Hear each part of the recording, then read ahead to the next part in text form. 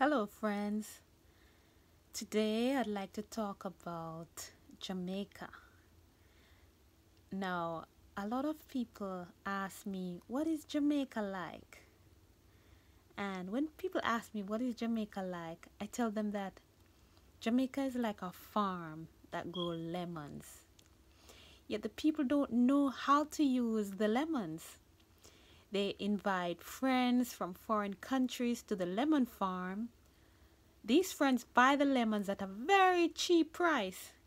Then they go back to their country and use their lemons to make lemonade.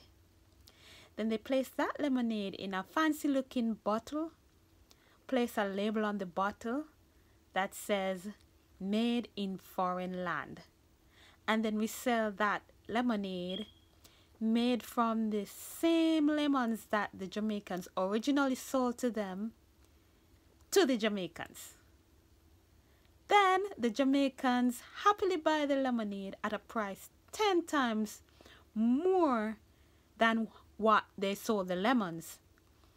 And not because it is better than anything they are able to make themselves, but because it has a label made in foreign land.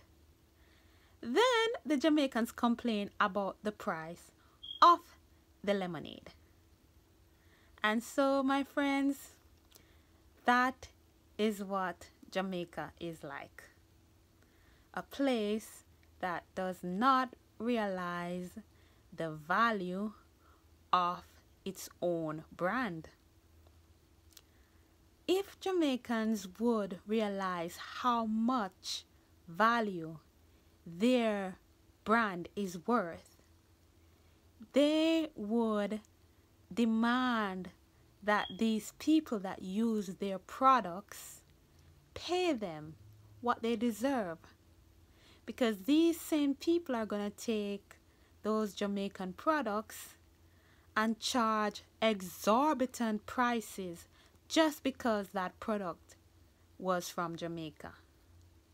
So, in conclusion, I just want to urge Jamaicans to realize the value of your brand and demand what you deserve.